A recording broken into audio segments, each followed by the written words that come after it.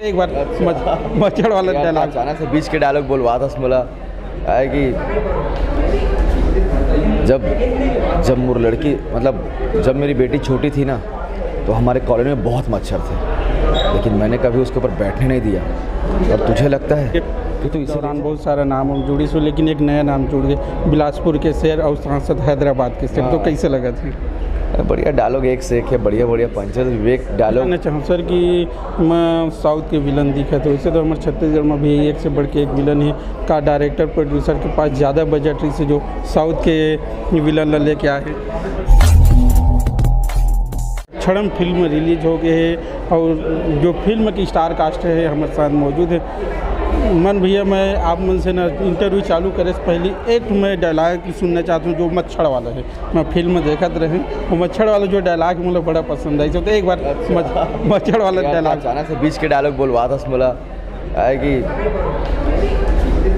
जब जब मोर लड़की मतलब जब मेरी बेटी छोटी थी ना तो हमारे कॉलोनी में बहुत मच्छर थे।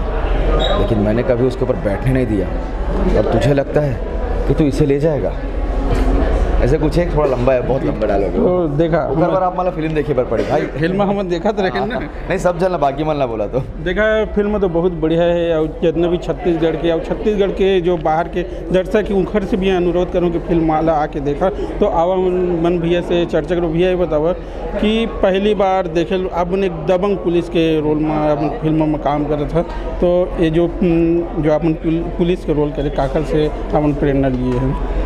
नहीं ऐसे नहीं है, जब वर्दी आप पहनो ना तो अपन आप में वो एटीट्यूड वो ग्रेस आ जाते कि आपला कोईला देखना नहीं पड़े। खबर कि देखो सिनेमा के पुलिस तो अलग होते ना।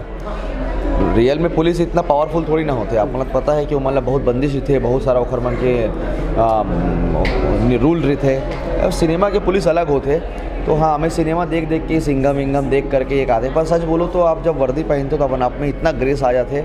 कि वो काम करें बहुत आसान हो जाता है लगे थे बहुत सारा आप मन के फ़िल्म के दौरान बहुत सारा नाम हम जुड़ी सो लेकिन एक नया नाम जुड़ गए बिलासपुर के शेर और सांसद हैदराबाद के शेर तो हाँ। कैसे लगा थी बढ़िया डायलॉग एक से एक है बढ़िया बढ़िया पंचर विवेक डायलॉग बड़े बड़े डायलॉग लिखे हैं। विवेक बहुत फ़ेमस है। पहले विवेक के साथ जब मैं काम करे हो तो बड़े बड़े डायलॉग लिखते मैं बोलता भाई ये जचेगा नहीं मेरे ऊपर? बहुत बड़ा बड़ा डायलॉग है बोलता हूँ मैं।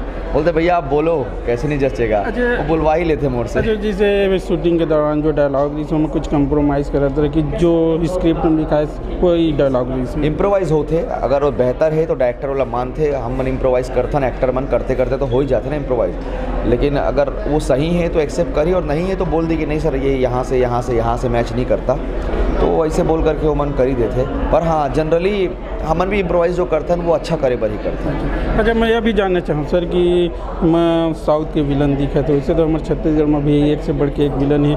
का डायरेक्टर प्रोड्यूसर के पास ज़्यादा बजट से जो साउथ के विलन ला लेके आए नहीं बजट वाली बात नहीं इस एक्चुअल में ये फ़िल्म हिंदी लैंग्वेज में है ना। तो हमन चाहतन कि फ़िल्म अगर यहाँ पर अच्छा करी तो का आगे चल के हमन ओला ओ और साउथ के भी बहुत सारे चैनल्स होते उमें वो सब में बेचे के काम आई तो एक अलग लेवल के प्लानिंग रही। है कि एक एक चेहरा बॉलीवुड के कुछ कलाकार मन ला ताकि हिंदी ओटीटी में डाल सकन। साउथ के कुछ चेहरा लो, ताकि हम बोला तेलुगू में या फिर हिंदी ओ टी वहाँ के डाल सकन, वहाँ के चैनल्स में डाल सकन। तो ये सब प्लानिंग करे करेगी और कोई बहुत ज़्यादा खास बजट नहीं रही। से विवेक, बहुत बहुत अच्छा से विवेक के जो बात करे का तरीका है, वो बहुत कमाल है। नंदा है, चाहे नितेश भाई जो प्रोड्यूसर है, वो मन इतना अच्छा से बात करते कि मुझे लगता है कि कोई आदमी फिर वो पैसा ला तवज्जो नहीं देकर क्योंकि मन के व्यवहार तवज्जो देते वो बहुत इजी ही से लाना है मल्ला और बहुत इजीली काम हो सर बहुत जगह गाँव, अगर शहर की बात करी ना, गाँव की बात करी तो बहुत जगह आप मन के बिना पोस्टर लगे तो बहुत सारा दर्शक मन के या जो आप मन के फ़ैन ही, वो पोस्टर देख के कयास लगाते ही।